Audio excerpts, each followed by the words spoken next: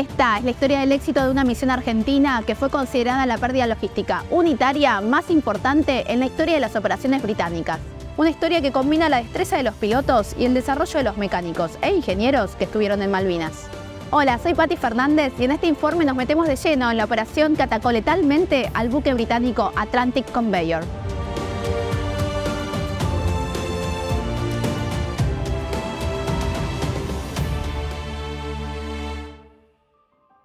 Hace más de cuatro décadas, en el corazón del conflicto por Malvinas, un grupo de valientes pilotos argentinos se enfrentó a la tercera flota más grande del mundo. Su arma secreta eran los misiles Exocet, una tecnología de vanguardia. Y a pesar de las dudas y el temor a su funcionamiento, estos hombres escribieron un capítulo importante en la historia militar, desafiando todas las probabilidades. Para la escuadrilla, te digo, fue una experiencia realmente extraordinaria, de manera que no era una dificultad en sí el cumplimiento de la misión, sino que nuestro mayor temor era que no funcionase el sistema y no cumplir con la misión por esa causa. Ahí va el mérito de los mecánicos y de los ingenieros. Normalmente trabajan en el anonimato y no son reconocidos. Pero es como una cadena. La cadena se rompe por el eslabón más débil. Si cualquiera de ellos fallase, la misión no se podría haber cumplido. El piloto tiene el mérito de llegar hasta el lugar, lanzar el misil, volver y como en Fórmula 1 te dan la copa o la medalla y, y el resto aplaude.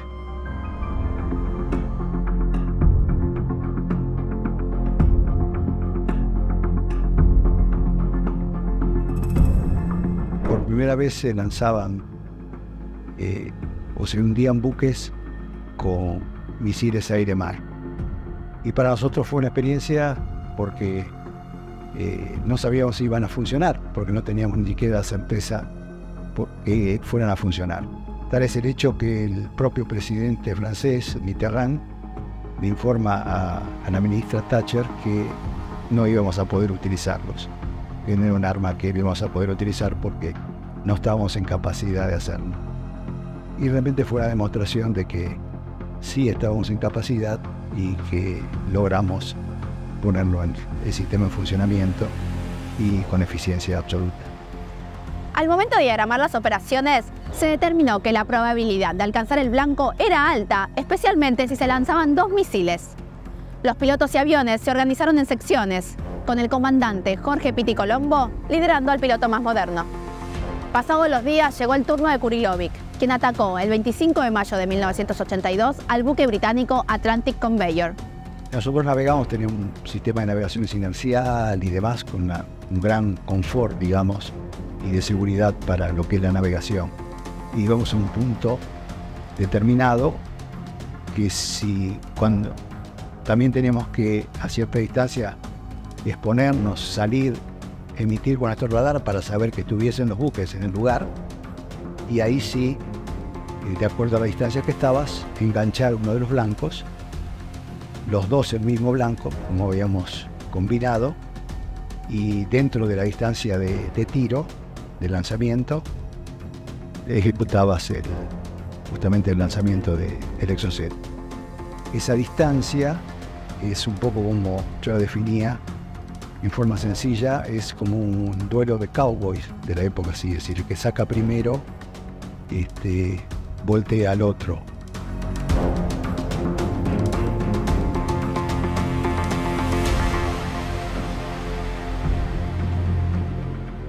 A nosotros en nuestro ataque nos lanzaron seis misiles SIDAR, que son superficie-aire, desde el portaaviones invencible, que estaba en la formación. Nos lanzaron seis misiles, pero con bastante mala fortuna, eso te muestra la confusión que creaba cuando ellos detectaban que estaban siendo atacados por los superestandar, este, a nivel que bajaron un helicóptero propio de ellos que estaba haciendo cortina antisubmarina, un Siquín, con sus misiles, lo bajaron. Otros fueron a un sistema de defensa que se llama CHAF, que son unas láminas metálicas que se lanzan, que crean un eco falso de otro buque, y otro a Ecos Espurios, ninguno fueron dirigidos a nosotros, lanzaron una patrulla de dos Harrier también, pero ya era tarde, para interceptarnos, de manera que el vuelo había sido sencillo. El hundimiento justamente de ese buque, otro error británico, y se lo decían sus propios jefes logísticos, fue haber eh, puesto tanta carga en un mismo buque, expuesto, digamos, una canasta expuesto a un ataque eh, como el que ocurrió. Porque llevaba aviones Harrier, la mayoría había desembarcado, solo habían quedado dos, pero perdieron eh, los helicópteros de transportes. La idea británica era producir los desembarcos San Carlos, hacer todo un movimiento transportado hasta proximidades del puerto argentino, llevar todas sus tropas y todo su armamento con helicópteros.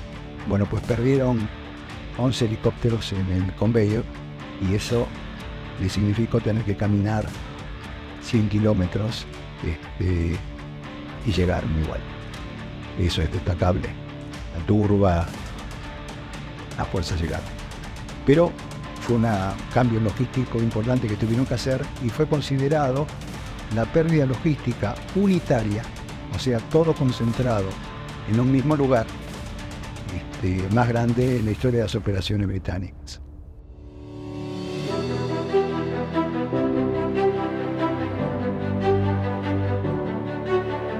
Salimos luego del ataque rasantes y y la idea era llegar a un aeródromo del continente que era Puerto Deseado, pero ya las condiciones nocturnas eh, daban gran dificultad a la operación en ese aeródromo con pocas instalaciones y reducido.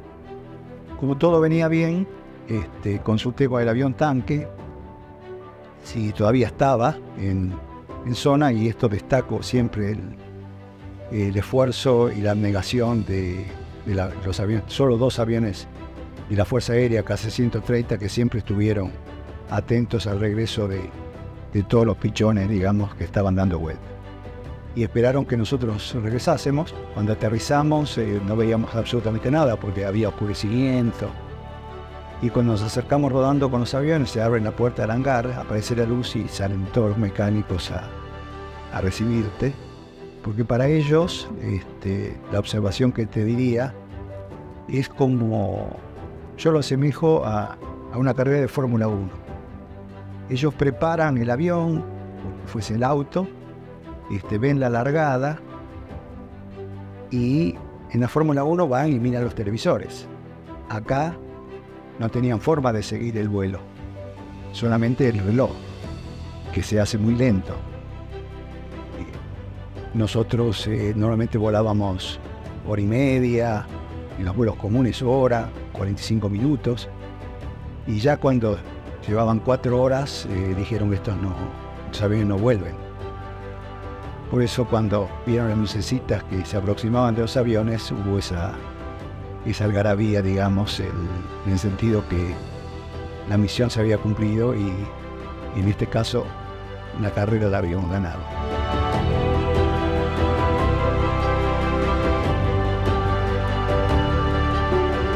El, conflicto eh, puede tener varias, varias miradas y, aristas. Y yo no me voy a meter con el tema político en sí, en la definición, si es una decisión acertada o no. Eh, como militar te digo que eh, para nosotros fue un desafío importante enfrentarte a, a la tercera flota o potencia en el mundo apoyado por la primera apoyado por los Estados Unidos, con lo cual era, era como pelear con un elefante demasiado grande. Y, la aviación naval,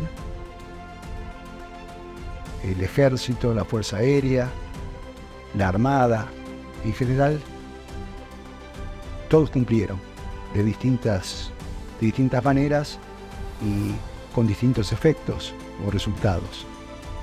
Y lo importante y que quede bien claro, eh, los únicos héroes de este conflicto son los 649 que no regresaron. El resto nosotros eh, cumplimos con lo que tenemos que hacer y con satisfacción. haber cumplido con el juramento de, de defender nuestra bandera.